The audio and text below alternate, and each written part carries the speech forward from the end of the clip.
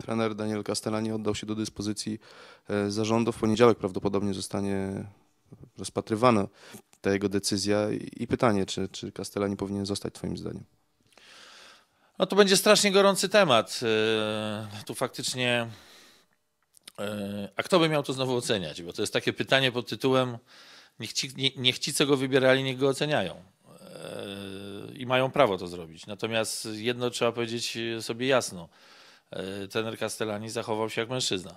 To jest, to jest, ja nie przypominam sobie trenera narodowych reprezentacji dowolnej dyscypliny, który E, Paru reiterowało, ale nikt się nie oddawał do dyspozycji. Czyli on podszedł do tematu, e, chce bardzo zostać, chce dalej pracować, ale nie robi tego za wszelką cenę i, i chce na ten temat rozmawiać.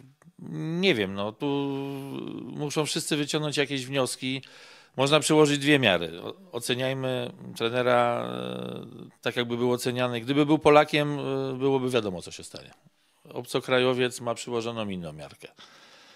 Jest dużej klasy fachowcem, jest, jest fantastycznym człowiekiem, jest przesympatycznym gościem, e, jest fachowcem, bo to potwierdzają i, i, i koledzy trenerzy, którzy obserwują jego zajęcia, i zawodnicy, którzy wiedzą, ilu trenerów przerobili, jakie, jaki jest warsztat.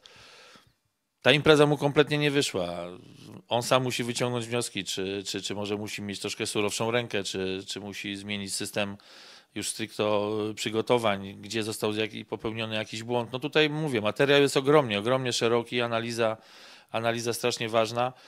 A czy on zostanie, czy nie, ja nie znam ani treści kontraktu, ani nie znam sum, ani wiemy, że nieraz decydują i sumy, i formy rozwiązania, i takie inne. No ja bym się skupił tylko na merytoryce. Trener Castellani jest bardzo dobrym trenerem. Ta impreza, ta impreza temu, temu, temu trenerowi i naszej drużynie kompletnie nie wyszła. Jeśli ktoś znajdzie odpowiedź na pytanie dlaczego, to, to będzie dobrze.